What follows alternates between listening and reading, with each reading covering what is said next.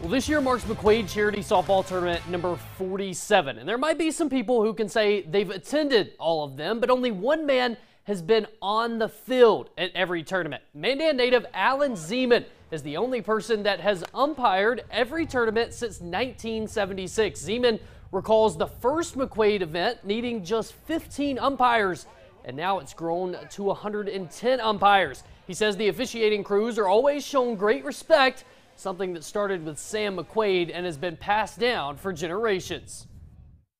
It's the incredible camaraderie and the atmosphere that the McQuade family has brought to this tournament. They bring umpires in from all over the country. Teams have grown to hear of this tournament. We have two teams here from Guam. We have teams from all over the country that come to support this incredible charity.